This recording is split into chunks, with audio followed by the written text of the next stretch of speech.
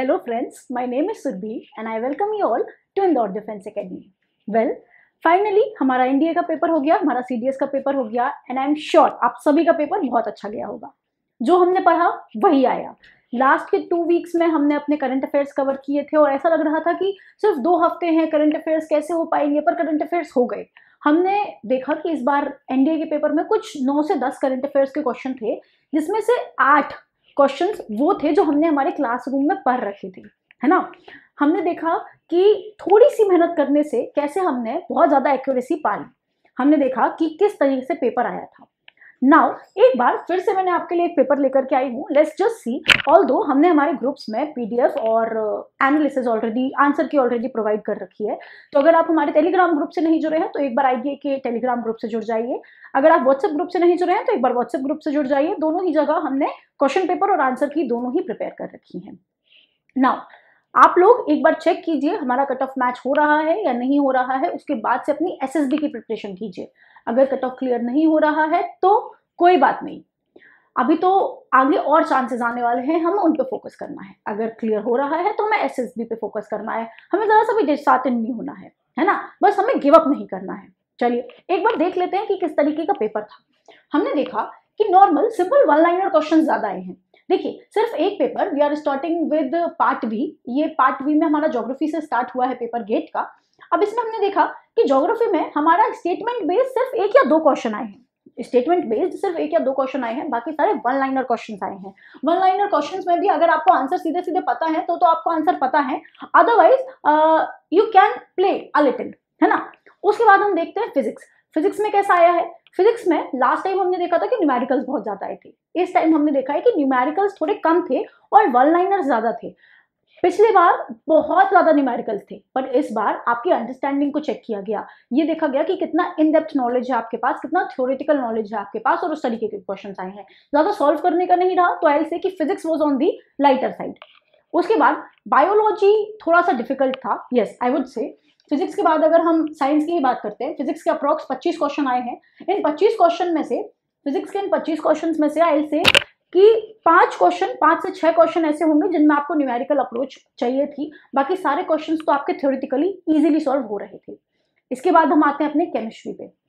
Chemistry में काफ़ी easy question आए। केमिस्ट्री में जनरली uh, काफ़ी डिफ़िकल्ट क्वेश्चन देखे जाते थे इक्वेशंस वगैरह आ जाती थी पर इस बार सिंपल स्ट्रेट फॉरवर्ड क्वेश्चन आए थे और जैसा पिछले बार का ट्रेंड रहता था उसी सिमिलर ट्रेंड पे क्वेश्चन आए थे केमिस्ट्री पे coming to biology biology would I would say थोड़ा सा टफ था बायोलॉजी बायोलॉजी में थोड़े से इन डेप्थ क्वेश्चन आए थे. बायोलॉजी में ऐसा नहीं था कि बहुत ही ऊपर ऊपर से क्वेश्चन पूछ लिए गए हों, पर हाँ थोड़े से इन डेप्थ क्वेश्चन आए थे.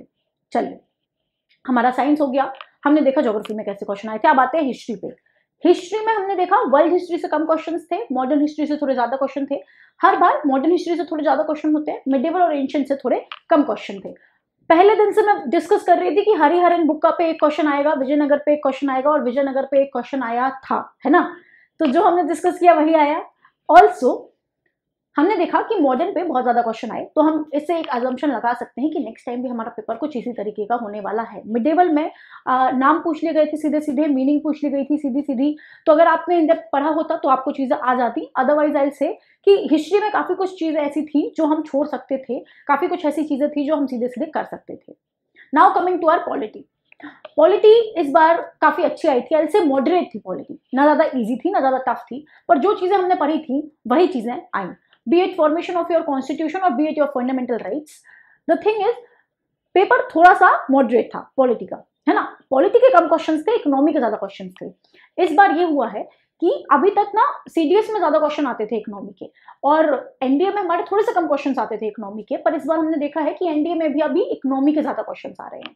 तो नाउ वी नो कि हमें इकोनॉमी पे ज़्यादा ध्यान देना है, और दस क्वेश्चन सीधे सीधे करंट अफेयर्स के थे। हमें लगा था कि चार पाँच क्वेश्चन आएँगे, छह ज़्यादा ज़्यादा सात क्वेश्चन आ जाएँगे, क्योंकि हर बार उतने ही क्वेश्चन आते थे, पर इस बार हमने देखा कि सीधे सीधे दस क्वेश्चन आए हैं हमारे गेट के पेपर में करंट अफेयर्स के। So now we know how important are current affair after analyzing the paper you can analyze what is your weak area and what is your strength. Where you need to work hard and what should be your strategy. So just go through the paper and go through the answer keys. मुझे बताइए कि आपके कितने number आ रहे हैं और कौन से वीक एरियाज़ हैं जिन पे हमको काम करना है। So we'll start making videos on those weak area from the very beginning है ना? अब एक और चीज़, जो मैं बताना भूल जाऊँ, इससे पहले बता दूँ। टेंथ ऑफ़ सेप्टेम्बर से हमारे new offline as well as online batches start हो रहे हैं। तो जो भी आपको अच्छा लगता है, आप ऑफलाइन बैच में भी जा सकते हैं, आप ऑनलाइन बैच में भी जा सकते हैं। Also you'll get a demo of everything that you face problem in हमारे पास एक पूरी टीम है फैकल्टीज की जो आपको डेमो देंगे। एल से कुछ बच्चे होते हैं जिनकी मेरे से फ्रीक्वेंसी मैच करती है और उनको समझ में आ जाता है मैम ने क्या पढ़ाया। कुछ बच्चे होते हैं जो दीक्षा मैम से फ्रीक्वेंसी मैच कर लेते हैं और उनको समझ में आ जाता है कि मैम ने क्या पढ़ाया। कुछ बच्चों को सर की फ्रीक्वेंसी मैच हो जाती है और उन्हें समझ में आ जाता है कि सर ने क्या पढ़ाया। तो आप एक बार देख लीजिए, जिस टीचर से आपकी फ्रीक्वेंसी मैच हो, आपको जिस टीचर का पढ़ाया हुआ समझ में आए, आप वो समझिए और अपनी प्रिपरेशन पेपर को एनालाइज करने के बाद शुरू कीजिए, है ना? जिन लोगों ने फ़र्स्ट अटेम्प्ट दे दिया है और अच्छे मार्क्स नहीं आए हैं नेक्स्ट टाइम अटेम्प्ट करना है पेपर एनालाइज कीजिए, फिर अटेम्प्ट कीजिए। जिन लोगों को अभी फ़र्स्ट टाइम देना है, पहले पेपर एनालाइज कीजिए। आई अगेन फोकस ऑन पहले पेपर एनालाइज कीजिए और फिर अपनी प्रिपरेशन स्टार्ट कीजिए। चलिए that's it from my side thank you so much wish you all the best जय हिंद